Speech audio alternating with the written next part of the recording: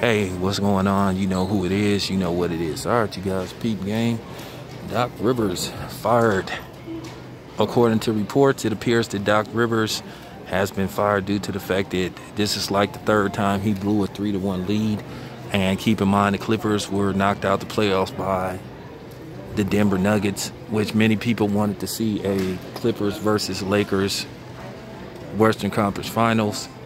Now, just probably about a week and a half ago, it was reported that Doc Rivers was going to be fired.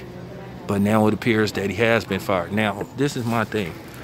I don't have a I don't have a problem with Doc Rivers being fired, but I have a problem with how he was fired.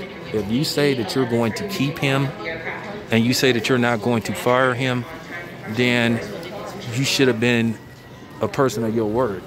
Because now it looks bad on the Clippers' part, like they shafted him. But like I said before, I have no problem with Doc Rivers being fired because many people believed he should have been fired.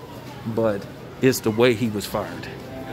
He was given the security that he wasn't going to be fired, so now he's fired.